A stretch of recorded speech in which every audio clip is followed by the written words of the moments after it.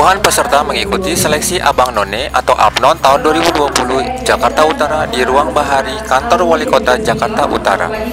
Seleksi yang digelar sejak Sabtu 22 Februari itu akan menjaring 15 pasang Abnon sebagai duta pariwisata.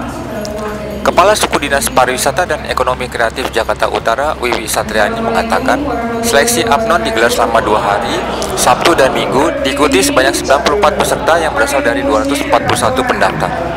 Sejak kemarin, proses seleksinya sudah berjalan. Dari 120 peserta hadir, 61 peserta di antaranya calon abang dan 66 peserta lainnya calon none. Ujar Wiwi, saya ditemui di Hari Bebas Kendaraan Bermotor HBKB, Jalan Danau Sunter Selatan, Tanjung Priok, Jakarta Utara, Minggu 23 Februari. Hasil seleksi kemarin dijelaskannya sebanyak 60 pasang apnon dinyatakan lulus. Sedangkan pada hari ini Minggu 23 Februari, seleksi mengerucut untuk mendapatkan 15 pasang finalis apnon tahun 2020. Ada tiga penilaian utama dalam seleksi ini yaitu behavior, branded, dan beauty.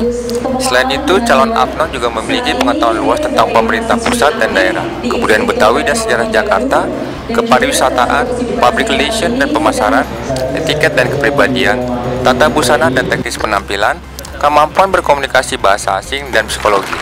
Diharapkan finalis Apnon 2020 dapat memperkuat sisi city branding DKI Jakarta, khususnya Jakarta Utara, terutama dalam hal kebaharian sebagai modal utama pariwisata Jakarta Utara.